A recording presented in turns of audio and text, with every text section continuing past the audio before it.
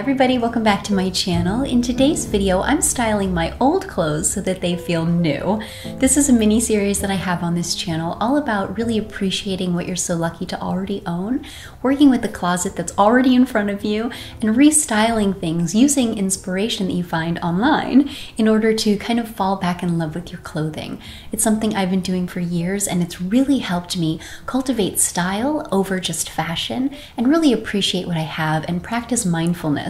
So I'm not constantly shopping and not constantly feeling the need to get new, new, new, and instead really appreciating what I already have. So I'm gonna shop my closet in this video and share some inspiration images that I collected and then show you how I take those from inspiration to real life. So let's get started. This first outfit comes from a relatively new Instagram discovery for me. I really, really, really love her style.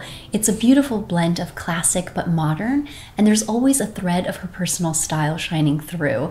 So I love it because I can get inspiration but still take things and translate them into my own wardrobe.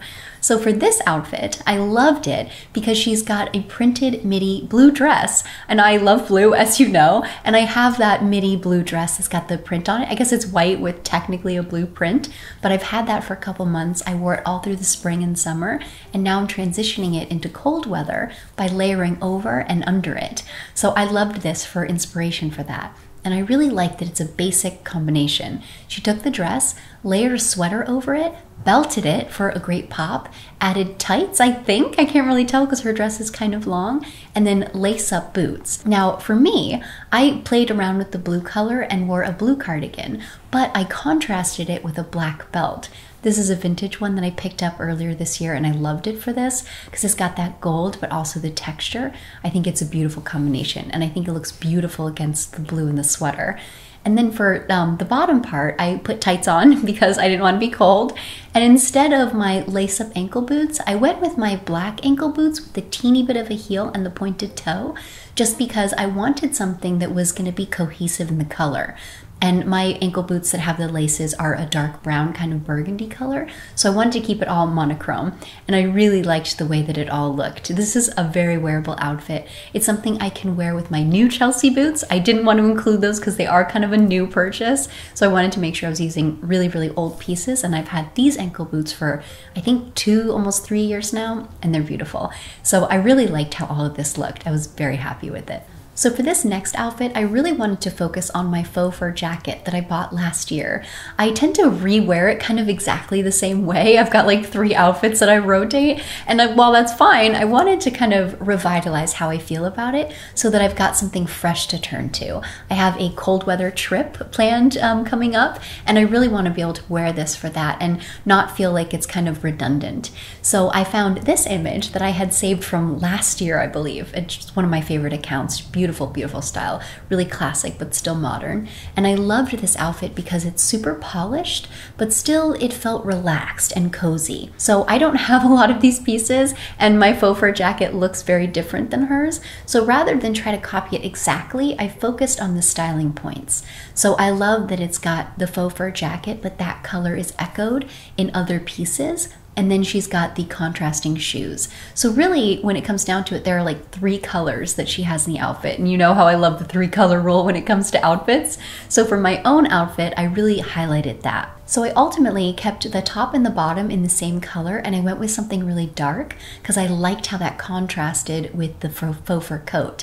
And it's got that kind of grayish color in it and that contrast was beautiful.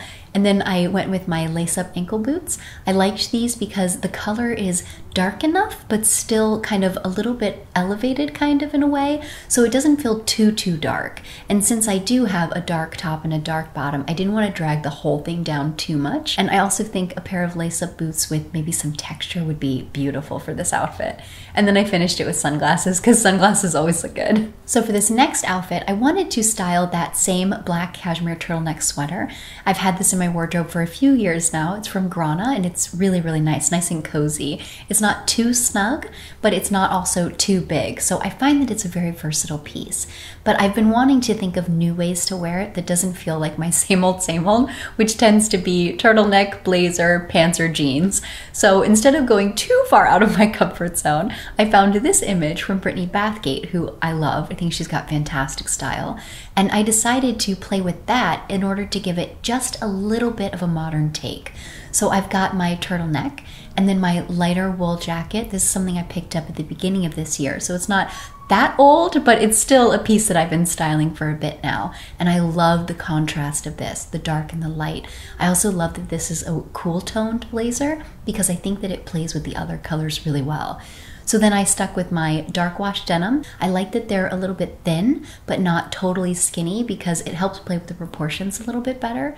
And then I tucked it in to help define everything and not make me feel like I was drowning too much. And then for shoes, I love how she's pairing those wingtips or brogues, as some of you call them, with socks. And I love how that line looks underneath the slimmer jeans. I think it's really, really classic, but still kind of modern in a way. And it feels fresh for me because that's not something I typically do. I tend to wear no show socks or even no socks on some days. And I like how I can have my ankles out, but it's not the most practical as it starts to get really cold. And I've been really wanting to think of new ways to restyle my wingtips, and this is perfect. And for this last outfit, I really wanted to play around with a blazer layered underneath an overcoat. It's something I've been trying to do in my own closet more as it's starting to get colder, but I'm almost missing the mark on some outfits, so I wanted to take this opportunity to practice.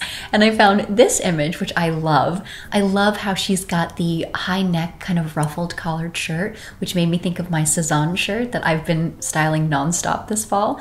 And then I also love how she's layered it under similar tones. So since I don't have these exact pieces, I focused a lot on the colors and the undertones to give me a similar look. So I've got the white shirt, which is a crisp white. It's I would say actually a little subtly off white, but it does look crisp white under most colors. So that was a good starting point. And so using that as a base, I wanted to keep the other tones a little bit more muted.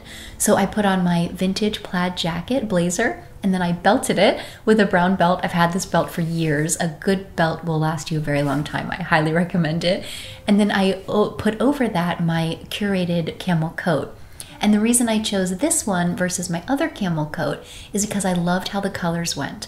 I like how the curated coat kind of warmed it up a little bit, but wasn't too warm. It just played really nicely together. And because I can't see what bottoms she's wearing in this picture, I went with standard dark wash denim and then uh, brown ankle boots. I love how all of these colors look together and it pulled the cool and the slightly warm beautifully. So it balanced it all really nicely. And then to finish it all off, I wore a pair of vintage earrings earrings that I've had for a few years. I got these on Etsy. I highly recommend Etsy for all types of jewelry and especially vintage jewelry. They have some of the best selection out there and you can find things from all over the world and really, really gorgeous pieces at a variety of prices. So I, I definitely recommend checking if you're in the market for something costumey and fun. They're the best. And so I wore these because they look like the earrings she's wearing, but I also love that they play with all of the tones in the outfit. So you've got the gold and then you've also got that beautiful brown color and it just tied everything really nicely together. I love how this looks. And there you have it. I really hope that you liked this and it inspired you. Maybe it gave you some ideas for your own wardrobe. And definitely, definitely practice this, especially as you start to get really tired of your wardrobe and we go into like full on winter. I find that really happens for me then. Like the end of summer and full on winter, I get really bored with my clothes. And this exercise is always, always helpful. So, again, I hope you liked this. And I would love to know in the comments down below if you have any special requests. Maybe there's an outfit you love that you would love for me to recreate. Please don't hesitate to share it. And, like always, thank you so much for watching. And I'll see you in my next one. Have a great day.